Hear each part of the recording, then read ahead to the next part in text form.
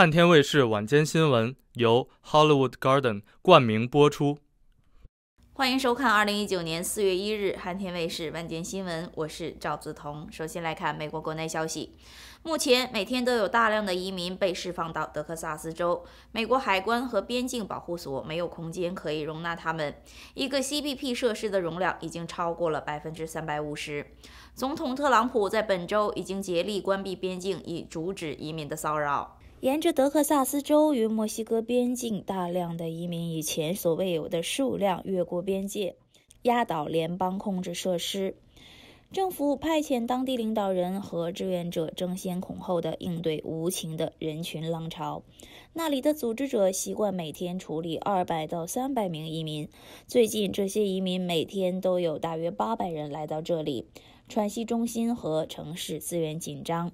由于美国海关和边境保护局已经用尽处理寻求庇护者的空间，数百名移民被关押在埃尔帕索的国际大桥下。美国海关和边境保护局局长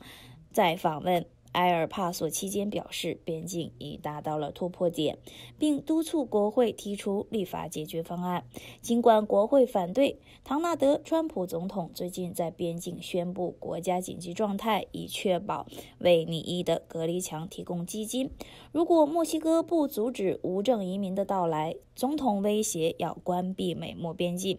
但麦卡伦市长吉米·道林表示，即便是特朗普提出的隔离墙，也无法阻止涌入避难所的移民浪潮，其中绝大多数人正在申请庇护。汉天卫视记者赵豪玉编译报道。周末，在一名年仅二十一岁的南卡罗来纳州学生身上发生了一起悲剧。警方正在调查这名女学生失踪并被谋杀的案件，已有一名嫌疑人遭到逮捕。周末，南卡罗来纳大学证实了一名21岁学生萨曼莎·约瑟夫森去世的消息。他的家人和朋友现在都陷入了无尽的悲伤之中。当地警方正在就案件进行调查，他们相信这名女学生是首先遭到了绑架，之后被谋杀的。据了解，当地时间二十九日凌晨，约瑟夫森与朋友分开后，用打车软件 Uber 预订了一辆车。之后，他在预定地点上了一辆黑色的雪佛兰轿车。事后，警方经过调查发现，这辆汽车并不是他在 Uber 软件上预定的那辆，显然是他的判断出现了失误。之后，约瑟夫森便失踪了。他的朋友在当地时间下午一点半报了警。下午四点左右，一群猎人在距离他失踪的哥伦比亚市九十英里左右的一片。田地中发现了他的尸体，警方立刻针对案件展开了全面的调查。次日凌晨三点左右，警方追踪到了约瑟夫森遇害前登上的车辆，并拦住了这辆车。司机被警方勒令下车时试图逃跑，但很快被抓获。随后，警方调查人员在车的乘客侧和后备箱中发现了与约瑟夫森相匹配的血迹，并在车厢中发现了他的手机以及装有液体漂白剂、杀菌试纸和玻璃清洁剂的容器。目前，汽车的司机二十四岁的非洲裔美国男子罗兰已经因涉嫌绑架及谋杀被逮捕。相关媒体也针对此案联系了 Uber 公司，公司拒绝发表评论。但之前包括 Uber 在内的打车软件都提醒过用户，在使用服务的过程中，建议乘客在上车前检查车牌、司机照片和司机姓名是否与应用程序中所列的内容相符，以避免危险的发生。汉纽卫视告诉您编译报道。当地时间三月二十五日，美国巴尔的摩约翰霍普金斯大学的外科医生成功的将一名艾滋病毒感染者的肾脏成功的移植到了另外一位感染者体内，这是全球首例 HIV 活体移植肾脏手术。当地时间二十五日，美国巴尔的摩约翰霍普金斯大学的外科医生成功的将一名 HIV 病毒感染者的肾脏成功的移植到了另外一位 HIV 感染者体内，这是全球首例成功的艾滋病患者活体移植肾脏手术。相关负责医生称，这一手术意义重大。它是全球第一个允许 HIV 感染者捐赠肾脏的案例，这标志着一种在二十世纪八十年代等同于被判处死刑的疾病已经得到良好控制，甚至 HIV 感染者现在可以通过肾脏捐赠来挽救生命，这令人感到难以置信。在此之前，HIV 感染者不能捐献肾脏，因为人们担心 HIV 会导致捐赠者出现肾病的风险极高。然而，约翰霍普金斯大学的研究组最近对超过四万名 HIV 感染者的研究表明，新的抗逆转录病毒药物对肾脏是安全的。这些 HIV 控制良好的感染者与非 HIV 感染者的风险基本相同，并且健康状况足以捐赠肾脏。他们认为，这次手术的成功不仅推动了医学界进步，同时为艾滋病患者清除了污名。它迫使医疗提供者和公众改变了对 HIV 的看法。它无疑将导致捐赠范围的扩大，而捐献者的增多就意味着能够挽救更多的生命。此次进行捐献的艾滋病毒感染者名叫妮娜·马丁内斯，是一名三十五岁的女性。她说：“实现器官捐献是自己一直以来的愿望，因为当整个社会不断地把你和别人不同的思想灌输给你的时候，我想通过这样的方式告诉人们，我和你们一样。”医学专家解释称，目前需要进行器官移植的 HIV 感染者只能接受从已经死亡的 HIV 感染者体内摘除的器官，而如果能够进行 HIV 活体器官捐献，情况将大大改善。如果能够确认有效，美国现在每年有约500到600名 HIV 感染者可以进行器官捐献，大约1000名 HIV 感染者将因此受益。汉尼卫视告诉您编译报道。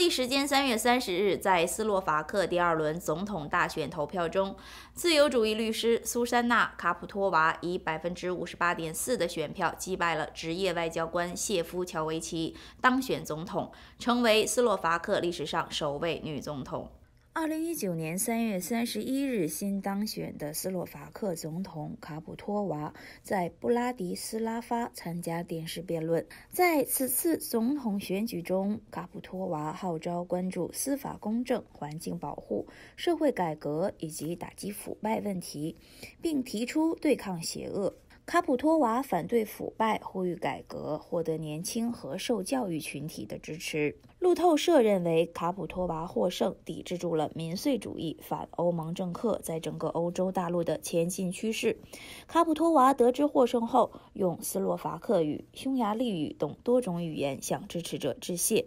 他说：“我不仅为结果高兴，更重要的是，选举结果证明，我们可以不向民粹主义屈服，讲真话，不以攻击性词汇吸引公众。”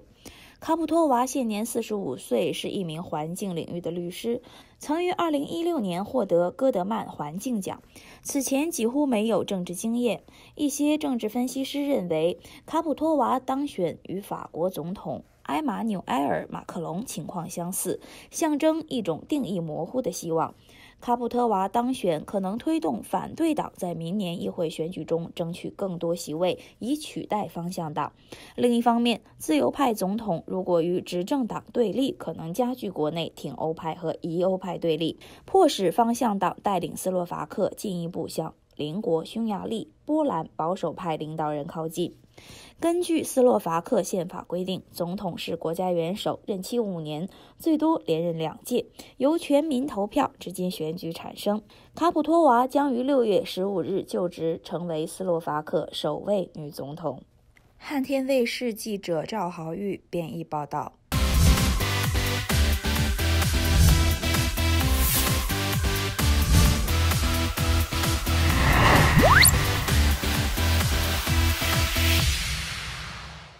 周末，迪士尼公司的真人动画电影《小飞象》表现低于预期，但依旧超越了其他影片，成功成为了新的票房冠军。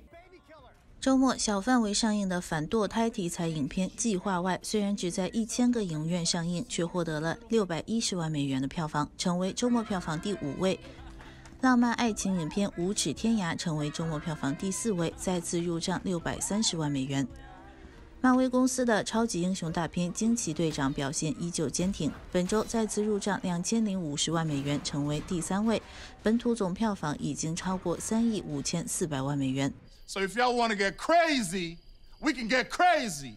恐怖片我们没能继续保住周末票房冠军宝座，本周影片获得第二位，再次入账三千三百六十万美元。上映十天，本土总票房达到一亿两千八百万美元。Fly, little one. 而本周新上映的著名导演蒂姆·波顿执导的迪士尼真人动画影片《小飞象》，不出意外的成为了新的周末票房冠军。这部影片的表现低于一些专家的预期，仅仅获得了四千五百万美元的开画成绩，但足以超越其他影片，成为周末票房第一名。汉天卫视告诉您，编译报道。休息一下，马上回来。